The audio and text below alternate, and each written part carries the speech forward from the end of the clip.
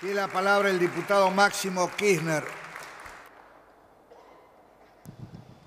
Gracias, señor presidente. Vamos a ser breves. Veo que el tiempo no es mucho. Eh, ¿Qué decir, no?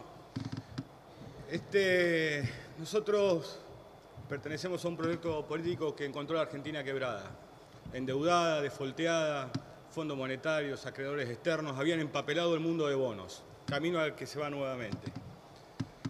Pero el esfuerzo del pueblo argentino y sus trabajadores y sus trabajadores fue puesto en valor y así fue que se logró también cancelar con el Fondo Monetario la deuda a finales del 2005 y también reestructurar el 93% con los acreedores privados. Recuerdo cuando en la sesión de fondos buitres estuvimos muchos acá, qué dijo cada uno y qué se expresó. Una de las excusas que había para arreglar rápidamente y acomodar lugar con los fondos buitres era que esto iba a proveer a la Argentina de endeudamiento barato. Lo mismo que se utiliza hoy con el Fondo Monetario nuevamente, que siempre es un endeudarse y siempre va a ser más barato. Lo real y lo cierto que aquella negociación con, con los fondos buitres, oprobiosa para la Argentina, firmada a ciegas, que la reparación histórica que abrió la puerta también a la dilapidación, como explicaron muchos ya, del tema de las pensiones y los jubilados, que la reforma previsional de fin de año son la clara muestra de la improvisación de la derecha argentina, de la improvisación y de no contar con un plan de gobierno, sino con un plan de negocios.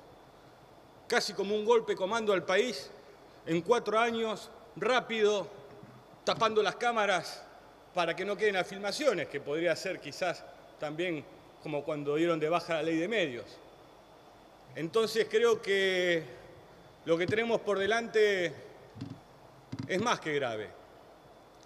Uno escucha al señor presidente decir en algún momento, a principios de año, que los argentinos no debemos pensar en dólares. Y de repente lo escucha hace unos días decir que las tarifas son en dólares. Las tarifas están dolarizadas y esto lo dijo el presidente. No así el sueldo de los trabajadores del petróleo, del gas, no así tampoco el alimento que consumen, pero las tarifas que pagan todos los argentinos están dolarizadas. Dice que no hay que pensar en dólares y de repente un día nos desayunamos con que iban a vender dólares en supermercados y kioscos. No creo que estén vendiendo, o por lo menos no me he enterado hasta el día de la fecha si lo están haciendo en supermercados y kioscos. Cada medida que han tomado ha empeorado la situación. Y hay que preguntarse por qué este Congreso hoy no tiene el quórum necesario, aunque sea para exigirle a aquellos que han dilapidado más de 120 mil millones de dólares de deuda externa alguna explicación. Nada del otro mundo, alguna explicación.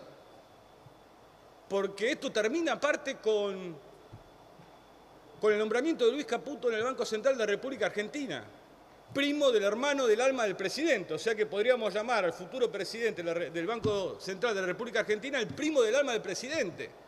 Y nos van a mandar aquí seguramente una ley que hable la independencia del Banco Central mientras está el primo del alma del presidente sentado ahí, acusado por donde se lo mire y bastante ineficiente, por lo menos a lo que es el interés de los argentinos. Por ahí es muy eficiente para el interés del capital extranjero y de diferentes cuestiones. Entonces creo que, hay que llamar las cosas por su nombre, que la chocaron todas, presidente.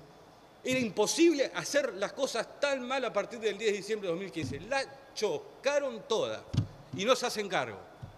Son de teflón, le siguen echando la culpa a todos. O la tienen los trabajadores, o la tienen los estudiantes, los docentes, el que venga. Pero creo también que tenemos una responsabilidad nosotros. No podemos hundirnos en la desesperanza no podemos hundirnos en la impotencia. Creo que el ejemplo reciente de la movilización de millones de mujeres en la Argentina es el camino. Nosotros acá somos un instrumento y una herramienta que el miércoles pasado cobró fuerza porque había miles y cientos de miles de mujeres afuera reclamando un derecho. Si la sociedad argentina vuelve a movilizarse, yo le puedo asegurar que estas bancas, en vez de estar vacías, lo va a tener a todos sentados.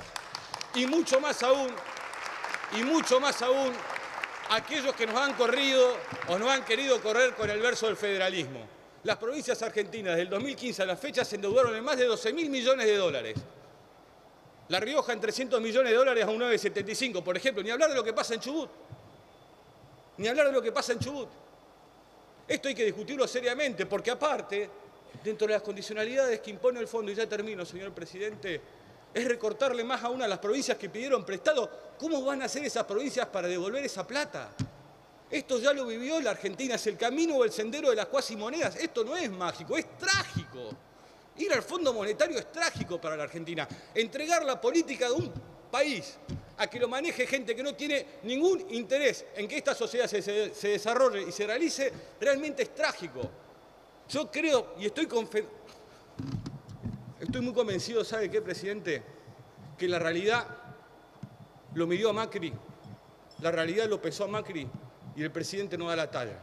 Ese es el problema. Muchas gracias, señor presidente. Muchas gracias, señor diputado.